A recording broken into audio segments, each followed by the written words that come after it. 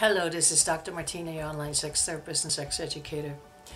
Netflix did it again. They hit a home run. They really did. They have a new series out that's called How to Build a Sex Room. I'm, I don't know if you heard about it, if you've seen it, but I bench watched it last night and this morning, and I can't wait to tell you what I think about it. I love this series. Um, I'm going to watch it again because it's fun. Um, it's educational, it's fun, it's inspirational.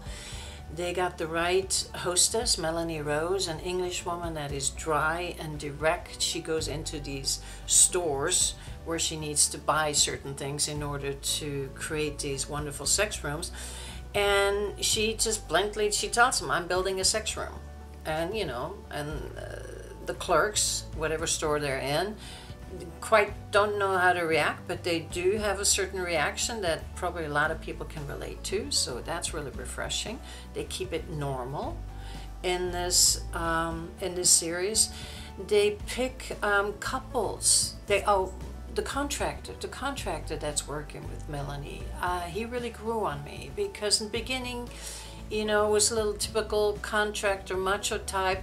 But then he just, you know, he also he stopped her when she came in really blatantly that he needed to put in something. I want, I don't want to spoil it. And he says, "Whoa, whoa, whoa! Can I just have a minute here and let this settle in? You know, because it is a little overwhelming." She pushes kink on into every room, um, but not to only to a level where the client can really manage it. And she does that quite well. She asks them, you know, what they're into, what they're not into, and even then, when she's not quite sure if the people know how much kink they really want, like this one woman wanted to be a dominatrix. She says, well, I want to be a dominatrix, you know, I want to be like a dominatrix. So she brought her to a pro dom. And they watched how Prodom worked with a client, and the woman realized right away, she says, Oh, no, no, that's in a totally different level than what I thought I wanted to be. So, um, all of that is being shown. There are different um, structures of relationships are being shown. You know, gay couple, gay male couple, gay female couple, interracial couple, polyamory. That is being also discussed. Not much into details, but just enough for everybody to have an idea and be educated that there's all kinds of ways to sexually express yourself. But ultimately, they show couples that, and even the polyamory couple, couples that love each other. And that are really, some already are having great sex and they want to spice things up. So she brings them to a different level. Other couples are struggling with their intimacy. They have zero intimacy and they're actually worried about losing their marriage, and she helps them. Then there's um, other couples who are kind of like hit and missing each other because they're in different levels of of sexual desires or expectations or sexual freedom, definitely. And they're showing that too.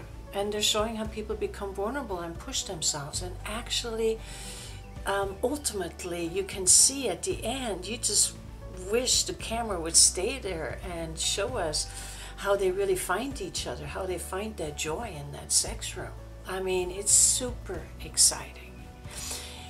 So I encourage you to watch it. I encourage you to keep your judgment to yourself and just keep an open mind and open heart and see if you can find yourself in any of these people. Maybe in the 50 year old woman, that's the only person where they're showing is a single woman. I'm so glad they added that a 50 year old woman who single, got divorced after 22 years of marriage with blah sex and is now enjoying casual sex to the limits, to her limits, and a little further. So um, it's it's absolutely wonderful. It's exciting. Like I said, I'm going to watch it again.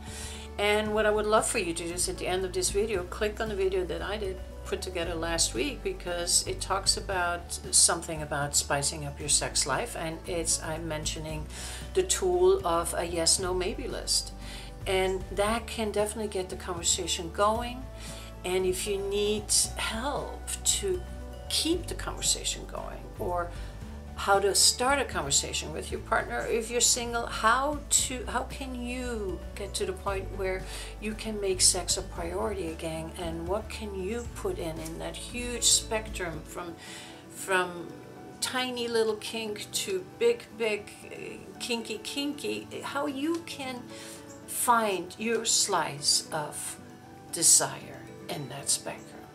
I can help you with that so connect with me and enjoy the series. I will. I'll talk to you next week.